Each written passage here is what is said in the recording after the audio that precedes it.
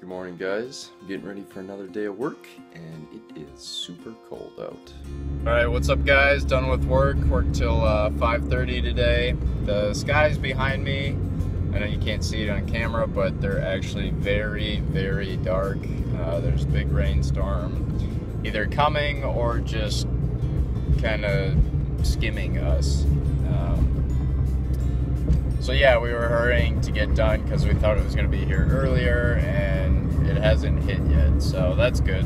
Um, so yeah, work till 5:30. That's half an hour off our work day on Thursday, which is awesome. And then uh, I also at work today got to run the big tractor compressor glue gun, and that that's usually reserved for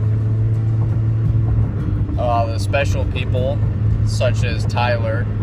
And Tyler was gone today, so I gotta do it. And that was pretty sweet.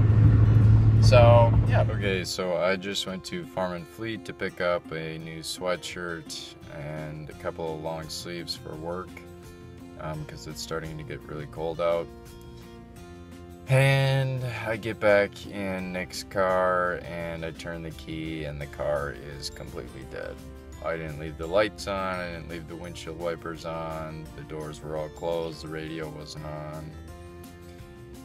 I don't know, maybe his alternator went out or something like that, and it's not getting a charge anymore. I have no idea.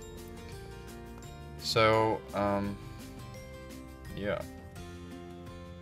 I'm gonna be uh, waiting for Jackson and Dakin to come and hopefully jump me and hopefully get all the way back home. Alright, so we had a big fight um, because we can never clean up the freaking dishes. So we decided you have to wash your dishes immediately, dry them off with this towel immediately. There should be no dishes in there, and if not, money goes in the fine jar and it goes 25 cents. It goes towards a family vacation in the future. That's all I got for tonight, guys. Uh, thank you so much for watching. If you like what you saw, feel free to like, subscribe, share, and comment, and all that good stuff.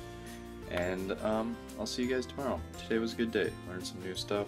I uh, can write some more stuff down on my future resume.